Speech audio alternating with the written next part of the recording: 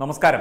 ഈ സ്വർണക്കള്ളക്കടത്തിന് സിനിമയുമായി മലയാള സിനിമയുമായി അഭേദ്യമായ വളരെ അദ്വിതീയമായ ഒരു ബന്ധമുണ്ട് എന്നുള്ള കാര്യം ഞങ്ങളും വാർത്തകളായി നൽകിയിരുന്നു.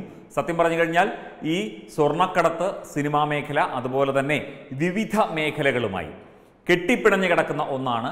ഇവിടെ പലർക്കും നമ്മൾ പൊക്കിക്കൊണ്ട് നടക്കുന്ന പലർക്കും ഇവിടെ മലയാളികൾ ആരാധനയോടെ നോക്കുന്ന പലർക്കും ഇതുമായി നേരിട്ട് ബന്ധമുണ്ട് എന്നുള്ള വാർത്തകൾ കൂടി ആ സമയത്ത് സംശയത്തോടെ വന്നിരുന്നു. എന്നാൽ ഇപ്പോൾ സംശയമൊക്കെ തീർന്നു വരുന്നു. എൻ ആ ഒരു മേഖലയിലേക്ക് കൂടി അന്വേഷണം വ്യാപിപ്പിക്കുന്നു.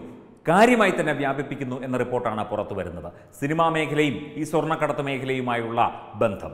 ദക്ഷിണാഫ്രിക്കയിൽ പോയി ചലച്ചിത്രങ്ങൾ ചിത്രീകരിച്ചത് എന്തിനാണ്? ഇവിടെ വലിയ ഇടത് ചിന്തകന്മാരായ അല്ലെങ്കിൽ ചിന്തകരായ മലയാളി സിനിമാ ദമ്പതിമാർ ഇതിൽ ഉൾപ്പെട്ടിട്ടുണ്ടോ?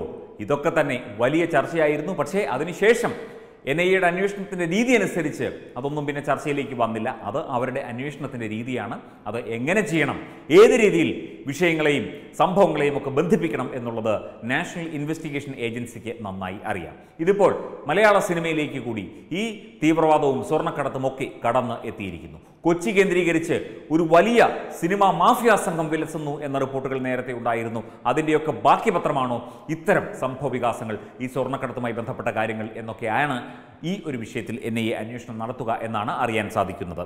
സ്വർണക്കടത്തിലും മയക്കുമരുന്ന് കേസിലും അന്വേഷണം മലയാള സിനിമയിലേക്ക് നീളുകയാണ്. ഇതിനിടയിൽ വന്ന ബംഗളൂരു മയക്കുമരുന്ന് അറിയാമല്ലോ. ഈ മുഹമ്മദ് അനൂപിന് അല്ലെങ്കിൽ ബിനീഷ് കൊടിയേരിക്ക് ഒക്കെ മലയാള ചലച്ചിത്ര മേഖലയുമായുള്ള ബന്ധമൊക്കെ തന്നെ. ബിനീഷ് കൊടിയേരിയെ ചോദ്യം ചെയ്യുന്നത് ഇപ്പോൾ നടന്നു വരികയാണെന്നാണ് അറിയാൻ കഴിയുന്നത്. ചോദ്യം ചെയ്യൽ കഴിഞ്ഞോ എന്നറിയില്ല. അതിന്റെ വ്യക്തമായ വിവരങ്ങൾ പിന്നീട് നമുക്കറിയാൻ സാധിക്കും. എന്തൊക്കെയായാലും ഇത് സംബന്ധിച്ച അന്വേഷണം ആരംഭിച്ചിട്ടുണ്ട്. രണ്ടായിരത്തി പത്തൊൻപത് ജനുവരി ഒന്ന് മുതലുള്ള മലയാള സിനിമകളുടെ വിശദാംശങ്ങളാണ് ഇപ്പോൾ പരിശോധിക്കുന്നത് കള്ളപ്പണം സ്വർണക്കള്ളക്കടത്ത് മയക്കുമരുന്ന് മയക്കുമരുന്ന് സംഘങ്ങളുടെ മലയാള സിനിമ ബന്ധം അന്വേഷിക്കുന്നതിന്റെ ഭാഗമായിട്ടാണ് ഇതെന്നാണ് സൂചന. സിനിമകളുടെ വിശദാംശങ്ങൾ അടിയന്തരമായി നൽകണമെന്നാവശ്യപ്പെട്ട നിർമ്മാതാക്കളുടെ സംഘടനയ്ക്ക് സ്പെഷ്യൽ ബ്രാഞ്ച് കത്തയച്ചു എന്ന റിപ്പോർട്ടുകൾ കൂടി വരുന്നുണ്ട്. ഇത് ഏത് രീതിയിൽ വന്നാലും എന്തൊക്കെ വന്നാലും നമുക്ക് ഈ സിനിമ എന്ന് പറയുന്ന ജനകീയ മാധ്യമമുണ്ടല്ലോ.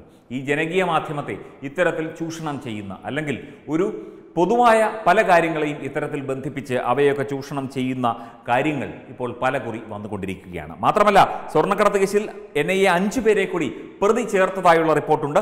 സ്വർണക്കടത്തിന് ഇടനിലക്കാരായി പ്രവർത്തിച്ചവരാണ് ഇവരെല്ലാവരും തന്നെ. മുസ്തഫ അബ്ദുൽ അസീസ് നന്ദു രാജു മുഹമ്മദ് ഷമീർ എന്നിവരെയാണ് ഇപ്പോൾ പ്രതി ചേർത്തിരിക്കുന്നത്.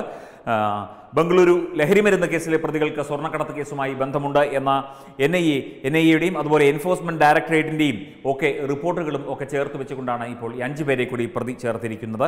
സ്വപ്ന സുരേഷിന്റെ റിമാൻഡ് കാലയളവ് നീട്ടണമെന്നാവശ്യപ്പെട്ട് എൻഫോഴ്സ്മെന്റ് ഡയറക്ടറേറ്റ് കോടതിയിൽ നൽകിയ റിപ്പോർട്ടിലാണ് ഈ കാര്യങ്ങളൊക്കെ പറയുന്നത് ബംഗളൂരു മയക്കുമരുന്നും അതുപോലെ കേരളത്തിലെ ഈ സ്വർണക്കടത്തുമായൊക്കെ ബന്ധമുണ്ടെന്ന്. അതുപോലെ ഒരു ഉയർന്ന വ്യക്തിയെ ഉയർന്ന വ്യക്തി പേര് പറയുന്നില്ല ആ വ്യക്തി കൂടി പിടിയിലായിട്ടുണ്ട് ഈ ബംഗളൂരു മയക്കുമരുന്ന് കേസുമായി ബന്ധപ്പെട്ട് ഇയാൾക്കും സ്വർണക്കടത്തുമായി ബന്ധമുണ്ട്. ആ ഉന്നതൻ ആര് എന്നതിലേക്കാണ് കാര്യങ്ങൾ എത്തിക്കൊണ്ടിരിക്കുന്നത്? നമുക്കറിയാം പക്ഷേ പറയുന്നില്ല. കൃത്യമായി തന്നെ ഒരു ഉന്നതനെ കേന്ദ്രീകരിച്ചുള്ള മലയാള സിനിമയും സാംസ്കാരിക പ്രവർത്തനവുമായി ഒക്കെ ബന്ധപ്പെട്ട വളരെ കാലമായി പ്രവർത്തിക്കുന്ന ഒരു ഉന്നതനെ കേന്ദ്രീകരിച്ചുള്ള ഒരു അന്വേഷണമാണ് ഇപ്പോൾ നടക്കുന്നത്. അതിനിടയിലാണ് ഈ അഞ്ച് പേരെ കൂടി പ്രതി ചേർത്തിരിക്കുന്നത്. ഇങ്ങനെ വളരെ വ്യാപകമായ രീതിയിലുള്ള അന്വേഷണമാണ് നടക്കുന്നത്. ഇതിന്റെ വേരുകളും ഇതിന്റെ ശിഖരങ്ങളും ഒക്കെ തേടി പോവുക അത്ര എളുപ്പമുള്ള കാര്യമല്ല. അതുകൊണ്ടാണ് എൻ ഐ അന്വേഷണം ഇത്തരത്തിൽ മുമ്പോട്ട് കൊണ്ടുപോകുന്നത്. അത് ഒരു സുദീർഘമായ അന്വേഷണത്തിന്റെ ഭാഗം തന്നെയാണ്. എൻ ഐ അന്വേഷണം അല്ലെങ്കിൽ എൻ ഐ എയും കസ്റ്റംസും തമ്മിൽ പ്രശ്നമുണ്ട് എന്നൊക്കെ വരുത്തി തീർത്ത് മാധ്യമ വാർത്തകൾ നൽകി ഈ അന്വേഷണ ഏജൻസികൾ തമ്മിലുള്ള ആ ഒരു കോർഡിനേഷനെ ബാധിക്കുന്ന തരത്തിലേക്ക് ചില കാര്യങ്ങളും വാർത്തകളും ഒക്കെ എത്തിയതായി അറിയാൻ സാധിച്ചു. പക്ഷേ അതൊന്നും അതൊക്കെ അന്വേഷണത്തിന്റെ രീതിയാണ് ഈ മാധ്യമ വാർത്തകളും അല്ലെങ്കിൽ ആരോപണങ്ങളും അസംബന്ധങ്ങളും ഒക്കെ ആർക്ക് വേണമെങ്കിലും എപ്പോൾ വേണമെങ്കിലും പടച്ചുവിടാമല്ലോ. അതുകൊണ്ട് അതൊന്നും കാര്യമാക്കുന്നില്ല. ശക്തമായി തന്നെ അന്വേഷണം തുടരുകയാണ്. ബംഗളൂരു കേന്ദ്രീകരിച്ച് അതുപോലെ തന്നെ കേരളത്തിൽ കൊച്ചി കേന്ദ്രീകരിച്ച് തിരുവനന്തപുരം കേന്ദ്രീകരിച്ച് അതുപോലെ വിദേശ രാജ്യങ്ങളിലെ ഫൈസൽ ഫരീദിന്റെ ബന്ധം കെ ടി റമീസ് ഇവരുടെ എല്ലാം എല്ലാവരുടെയും മറ്റു പല ബന്ധങ്ങളും അതുപോലെ തന്നെ ബിനീഷ് കോടിയേരിക്ക് ഈ ഒരു വിഷയത്തിൽ നേരിട്ട് ഇടപാടുണ്ടോ എന്നുള്ള കാര്യം കൂടി അന്വേഷിക്കുകയാണ്. ഈ രീതിയിലാണ് ഇപ്പോൾ അന്വേഷണം പുരോഗമിച്ചുകൊണ്ടിരിക്കുന്നത്. Web desk Tatwamayi news.